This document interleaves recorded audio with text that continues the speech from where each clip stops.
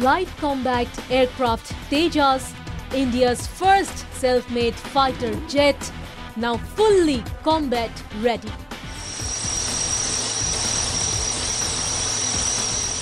It was a major milestone for the LCA Tejas to be finally ready to be used in operations by the Indian Air Force. In what was termed as a landmark day in India's defense capability, LCA Tejas received the final operational clearance for induction into the Air Force as a fully weaponized fighter jet on Thursday.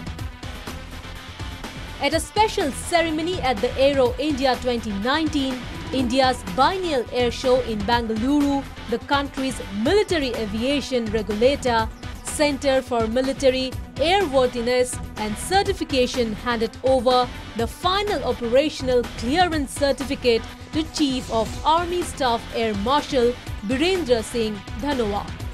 And this was not all. The LCA Tejas also got a special passenger at the Aero India Air Show.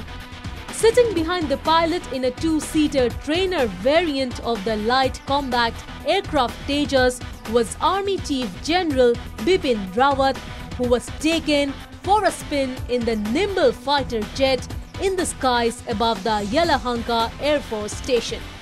This was the first time General Rawat flew in the homemade fighter jet known for its agility being the smallest and lightest multi-role supersonic fighter jet in its class. मुझे जो ये मौका मिला LCA में उड़ान भरने का ये मेरे लिए एक बहुत ही अच्छा मौका था।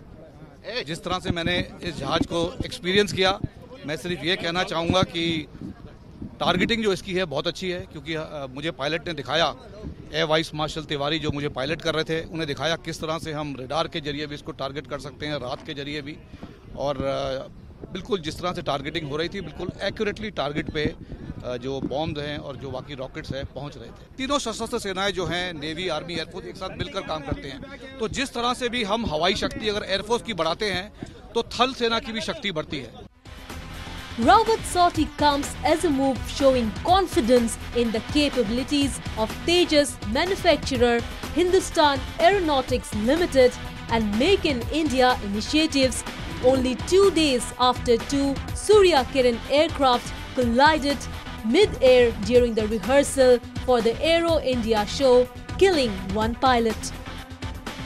Although a lightweight aircraft with a short range, the LCA Tejas can carry the same array of modern weapons that bigger warplanes carry from precision-guided and standoff weaponry to long-range beyond visual range missiles that can take down enemy plans from a safe distance.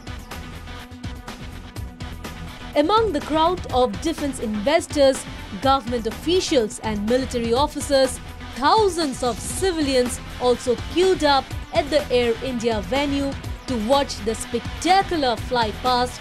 by powerful jets and aerial aerobatic shows. The five-day event will end on February 25th. National Desk Northeast Live